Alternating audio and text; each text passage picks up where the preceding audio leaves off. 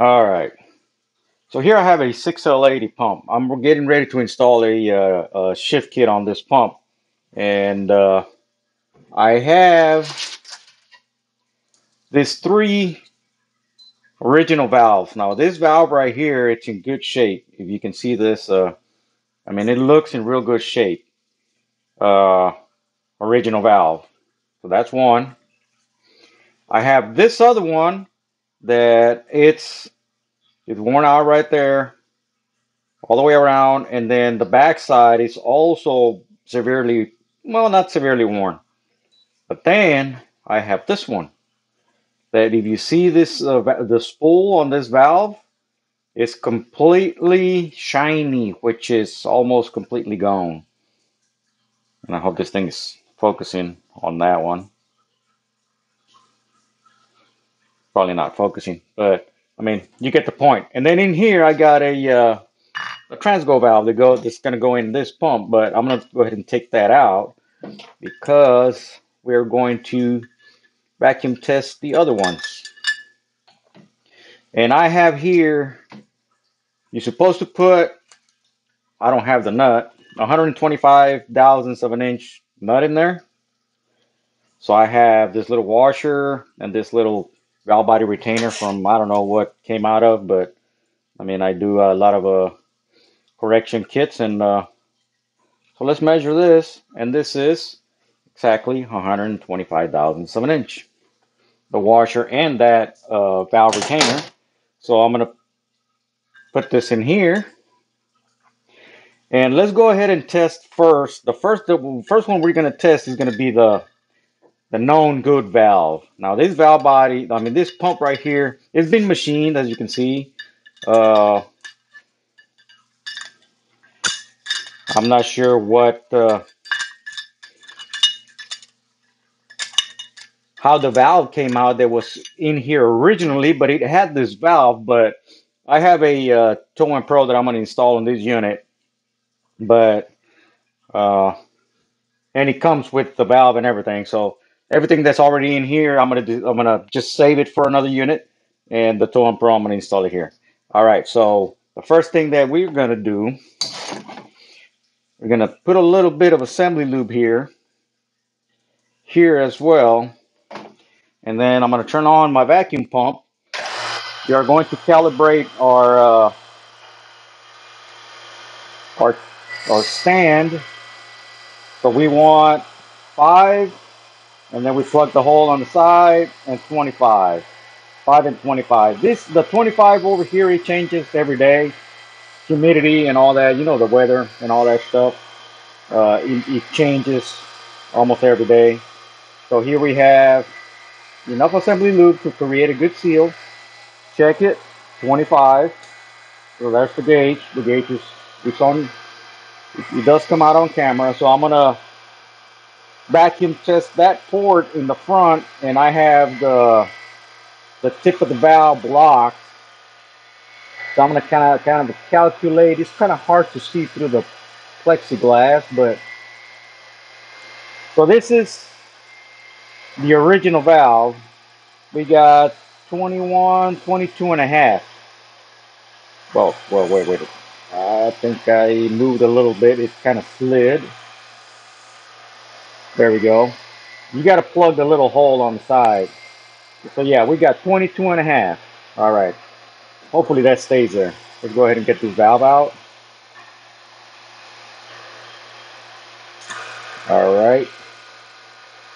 I lost it. I think it's sliding away. Come on, man. Come on now.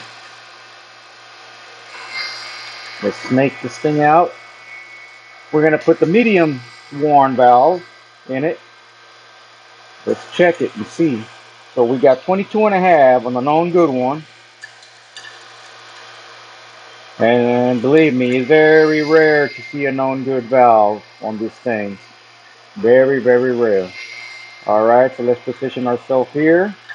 And we got 15 and a half. This thing's still sliding. I don't want any any leak. You can hear the leak. It's hissing a little bit on the side through here. So I'm putting a little bit of pressure on it. So this one, uh, it might give you some shifting issues, some uh, shutters or whatever. Let's try this one out. Notice the gauge.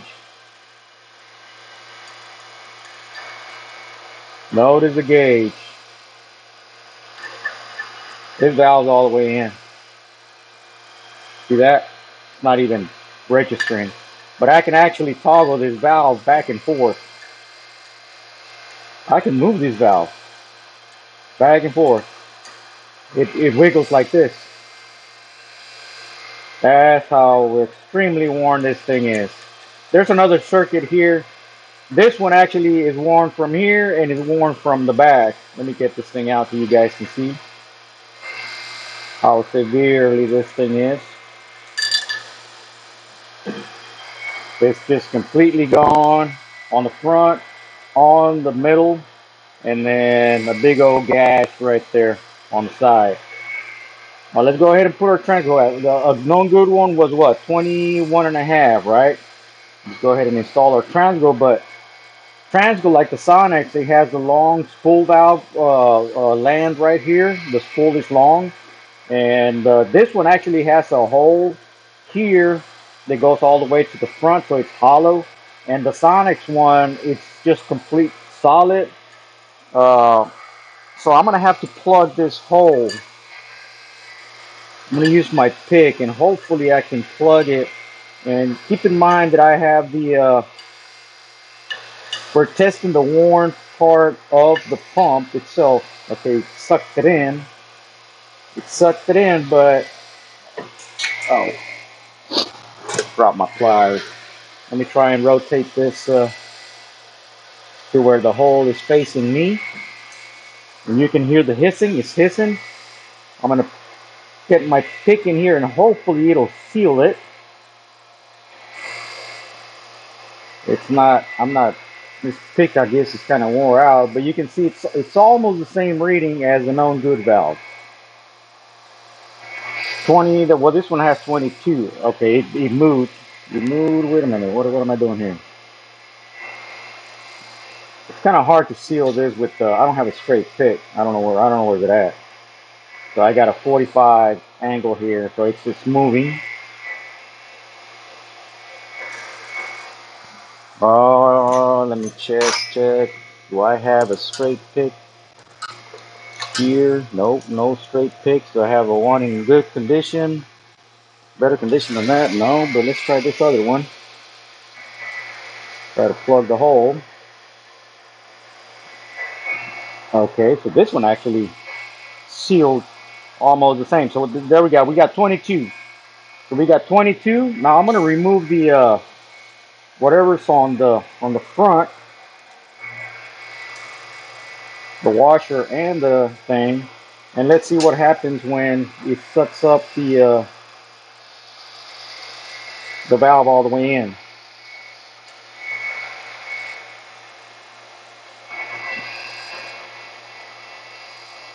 I'm trying to seal this thing, but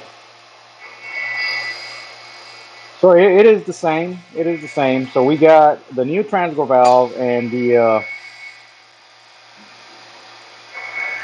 and the known good one are probably going to read the same. So let's get this thing out and install the one that looks good, the known good one. in here,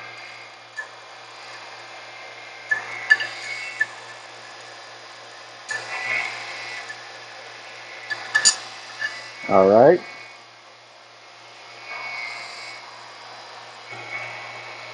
22 and a half. Oops, why am I why am I losing it? 22 and a half. For some reason, this one is kind of well, there we go, 22. All right, so they both read the same. They both read the same. So that means that this pump is probably not that much worn. I mean, you have a little bit of clearance for the valve to move. So we're at 22 and 25 is completely no leak at all. So we're in good shape. Now, you know what? Let's go ahead and put this back in here. I'm going to put a spring,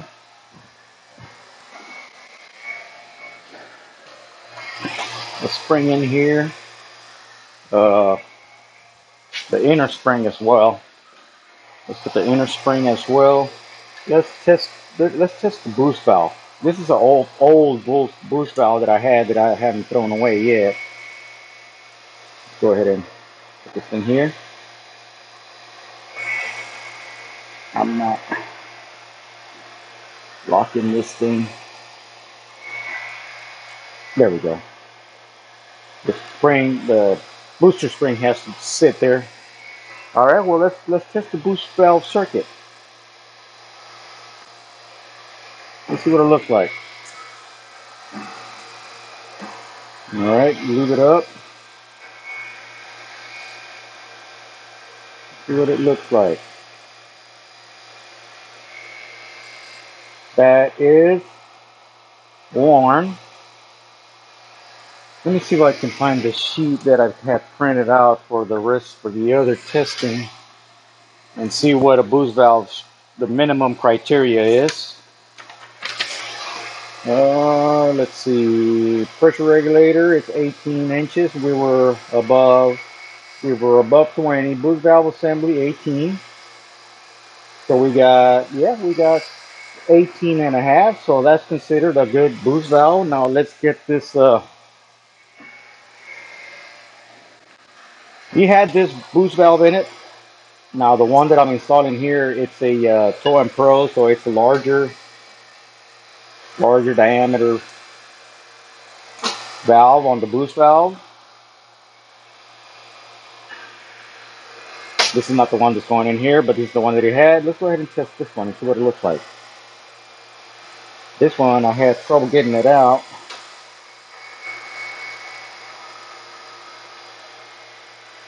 Okay, let's go ahead and check this boost valve. So 18 is good. It's considered good.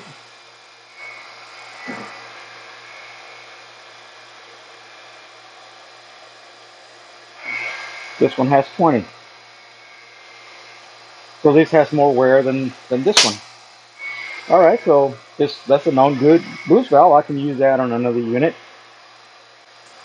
What about this uh, lockup valve? Uh, converter feed limit valve is uh, 20. Go ahead and uh,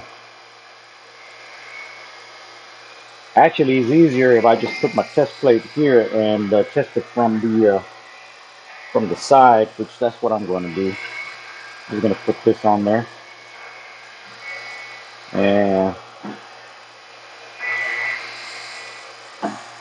I mean, I'm going to use this area of the test plate to cover cover that, cover that up, and test it from here, which I got 22 and a quarter, almost 22 and a half, which is which is good. And I should have 20 on that valve, so that's that test out good. TCC control valve. Okay, wait a minute. That's the uh, TCC control valve. The TCC control valve should be 18 and above, and we are at 22. The converter, the converter feed limit. I need to put the uh, actuator feed limit valve on on in here to test it because that one has a hole. Uh, but anyways, the the thing that I, the, the the purpose of this video is not to vacuum test the whole thing.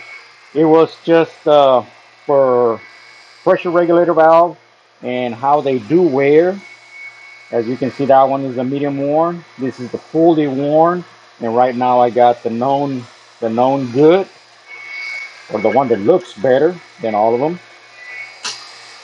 And uh, I mean, just vacuum testing. It's just as simple as it gets. It's just very, I guess, it's very effective. I mean, it gives you a window uh, visually looking at to see and what what the hell's going on with it. I mean, you actually see the wear on the gauge, just like when you use an oscilloscope, you can see the electricity flowing through a circuit, And with the vacuum uh, testing like this, you can actually see the wear, like you can picture it in your mind, the wear that's inside the the bore of the valve and the valve spools as well. You know, the lands right here, these lands or valve spools, whatever you want to call them, you can actually see it on the gauge, the valve. This one is full vacuum and you can see that it would rock back and forth. This valve is no good. This one is no good either. But I mean, that's why they they got replacements. I mean, I use Transgo a lot, but I mean, if you got something else, uh, Precision, uh, uh, not Precision, Superior. Superior makes also something for this. Sonnax makes something for this. I mean, uh, it's going to be your choice, your choice, and uh, it's always a builder preference. I use Transgo a lot. I grew up with Transgo since I was young. You know, uh, building these things. You know, uh, with the C4, C6s, 400, 350s. You know, back in the day, and I stuck with it. You know, and uh, I would use B&M also when I was a kid. Uh, that was just super aggressive. But anyways, uh, I stuck with Transgo because they have a lot of It's not just like B&M, you know. It's uh, I'm not saying the B&M is no good. It's good, but I mean it'll kick your butt real hard, you know, like on the 350s and 700s and stuff like that. But Transgo has does that and more, you know. And Superior does that and more. And Sonnax is just Sonnax is just uh, concerned to repair the original wear. But whatever whatever you like the most, I mean that's what you're gonna use. But this is a great tool. I mean, I do recommend everybody to use something like this, you know, and that gives you a window and and to see what you know what the hell's going on inside your unit. All right, guys. Well, I mean, this was just a basic test, and I have these laying around, and I mean, next the final destinations for these valves right here uh, is going to be the trash can. So there you go. You know what to do. See y'all guys later.